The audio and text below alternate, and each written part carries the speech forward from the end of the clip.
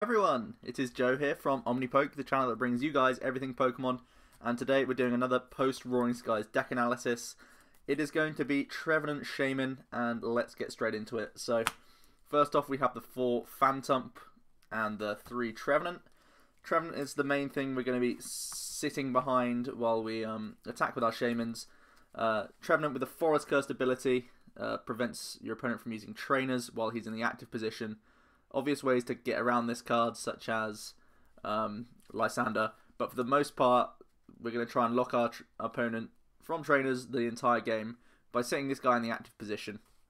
So, just like however Donphan would use it, or even Gengar, in this deck we've decided to go for the new card from Roaring Skies that everyone's been talking about. It's Shaymin EX, not just used in this deck for the setup ability, which is uh, also really, really helpful, uh, drawing us back up to 6. But we actually use Shaymin EX as an attacker in this deck. Sky Return for 30 uh, for a DCE allows us to put everything attached to him back into the hand. So with a Muscle Band, we can hit 50, and then we allow lasers to rack up the damage. Of course, with Trevenant in the active position, your opponent can't use switches or float stones to make it easy to retreat. And because we're also going to be using hammers and stuff, they may not have the energy uh, cost uh, to retreat, or even if they do, they don't want to get rid of it in fear of uh, more hammers hitting them. So the idea is we're going to disrupt them with all these um, trollish trainers, and then slowly eat away at them with a combination uh, of Shaymins and lasers and stuff. So really, really good deck. It has such good inbuilt consistency because every turn you use Sky Return, uh, in theory anyway, and you put Shaymin back into the hand, and then you can, you've probably got another one on the bench, you can put the DC Muscle Band, and you've already lowered your hand size down by two cards. Uh, you can drop that other Shaymin, and pretty much every turn net yourself like an extra three cards, so you mill through the deck really quickly, especially because on like your first one or two turns you're going to drop three or four Shaymins down, so very, very useful here, a lot of draw power, a lot of consistency, thanks to using Shaymin. Uh, not just the full times either. We're going to use it, you know, after every Sky return, we get to drop it back down again. So, very, very helpful here. The one other Pokemon we're playing in the deck is a single Jirachi EX. Jirachi is used so that we can um, search out Wally. Wally means that we can get Trevenant turn 1 and effectively Trainer Lock turn 1. That's what we're going for here. So Jirachi very helpful for that purpose. On to trainers now. We've got Comp Search, pretty obvious. Then we've got the 3VS Seeker, Respamming our supporters, pretty helpful, I would say. Uh, then the first of our trollish cards, we've got two Enhanced Hammer, pretty useful for most decks right now. The format is very heavily uh, in favour of all these special energies right now, so Enhanced Hammer probably going to be useful in the majority of the decks. I like it at two though because um, any more, and if you come up against something that doesn't have all these special energies, or at least if your opponent's trying to hold off on them for as long as they can, uh, you don't want to draw into too many enhanced hammers. However, we are playing the full 4 count of Crushing Hammer, obviously very disruptive to get rid of energy. Turn after turn and be trainer locked, it can stop a lot of people's draw power as well. Uh, with all the trainer draw people are opting to use with Trainer's Mail, Acrobike, Roller Skates, all of that sort of stuff.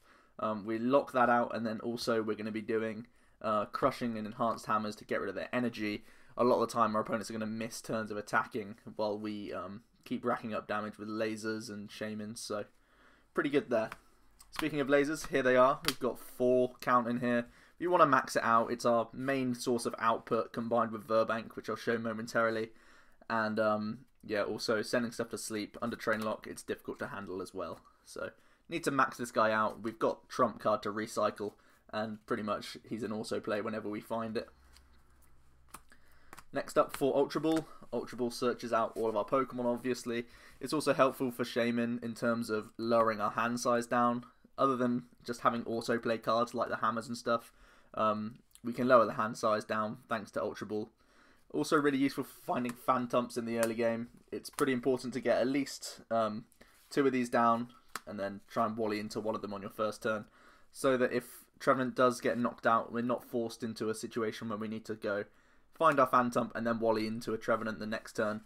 Ultra Ball can net us um, another Phantump turn one, um, or as many as we can really, to uh, give us more stability in the long run. Also, Ultra Ball is a great out to find Jirachi, and then Jirachi finds Wally. So, four ways, or five ways, I guess, if we have the Jirachi as well, um, of finding Wally without actually having it in hand. Onto tools now. We've got two Headringers. Headringer, very, very helpful against Seismitoad in particular, because we can force them to miss a turn of attacking, uh, and if they do still commit a DCE, then we can eat that up real quick with enhanced and crushing hammers. So hopefully we can stop toads altogether for one or two turns. And when one's stuck active with a headringer on it, it's very very difficult for them to move. Uh, with a retreat cost of three, obviously they can't use trainers to put float stones on or anything. So for the majority of the time, they're going to be stuck there until they draw into maybe like a Tech AZ or something like that. So uh, Headringer is really nice there. Also, just in general, we're stopping Mega Evolution, we're stopping uh, Yveltal becoming too quickly, you know, or attacking us in two turns. So very, very helpful there. For our own tools, we've got the three float stone, of course, so Trevenant can freely move in and out so that we can just keep attacking with Shaymin. Pretty obvious there. And the three muscle band as well. Critical to get our output just a bit over 30, I would say. Um, it really does help having the extra 20 each time we're hurting uh, our opponent. On supporters now, we've got the single Xerosic. Xerosic um, serves a multitude of purposes.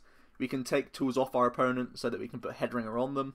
We can get rid of a tool on Garbodor so that our um, ability is back into effect. And then once we have that effect back into play, unless our opponent Lysandre's around our Trevenant, uh, they can't get their tool back on their Garbodor. So very useful there.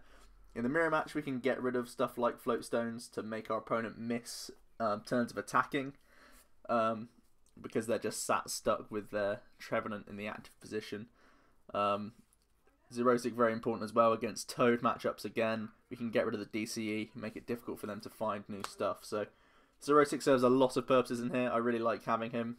Uh, even as a one count, we've got the 3 VS Seeker, and Shaymin allows us to mill through the deck quite quickly, so we do get access to Xerosic fairly early on. Next up we have Trump Card, much like in Exeggutor, where Trump Card is really crucial, uh, it's pretty much similar in here. It gets back all of our hammers, so that we don't eventually get overrun with energy and they start out hitting us.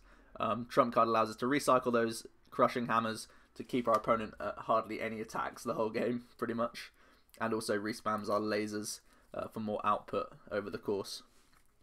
Next up, we have three Lysandre. I really like Lysandre at three.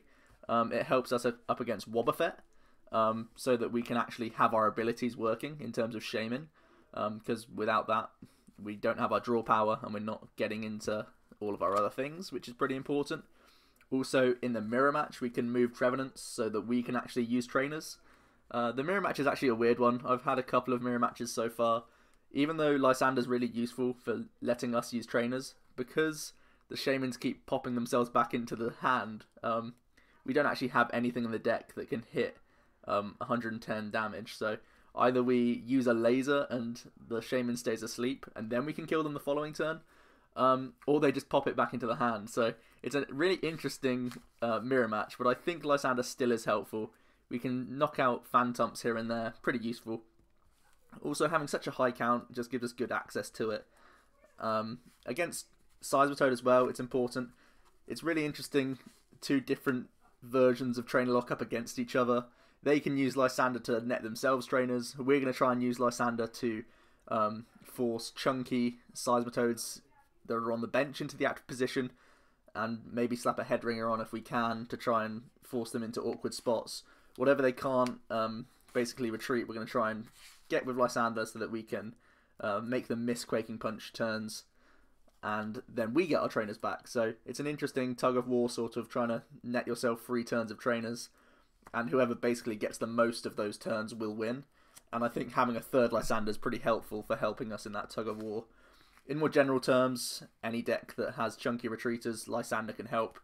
Um, pick those up, and then we get to whittle them down while they can do nothing really, thanks to the trainer lock aspect and poison and stuff.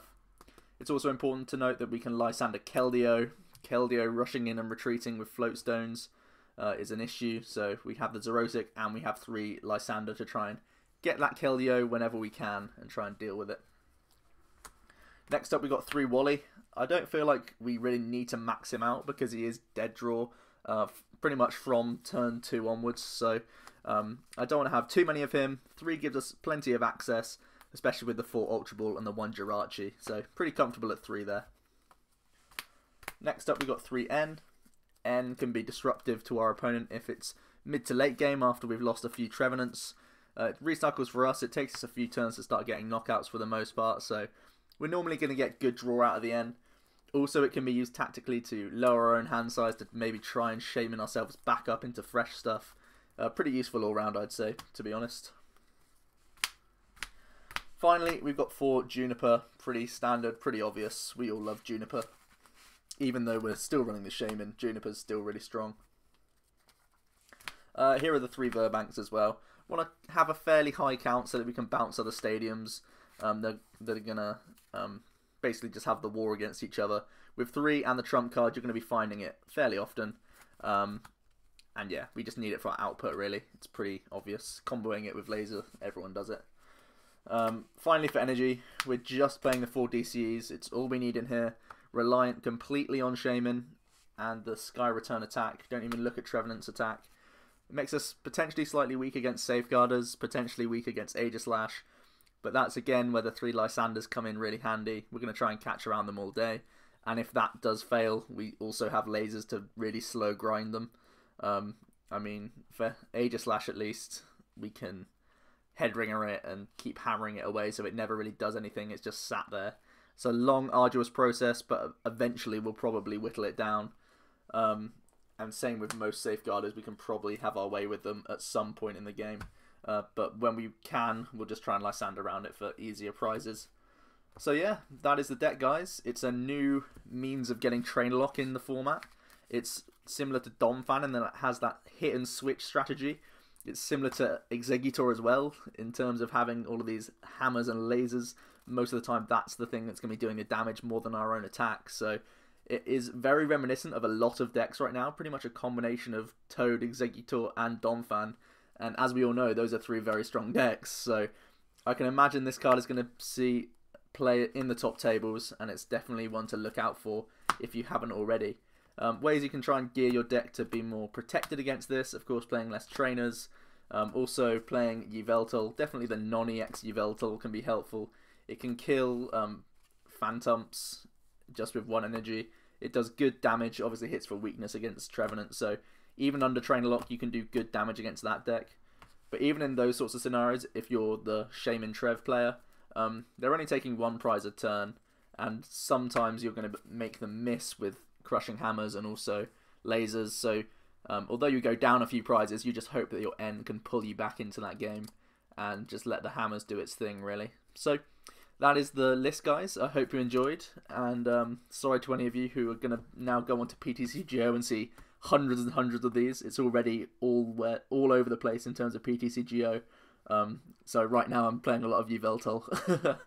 um, but yeah, that is the deck, guys. I hope you enjoyed, and I've been Joe from Omnipoke. I will see you guys next time.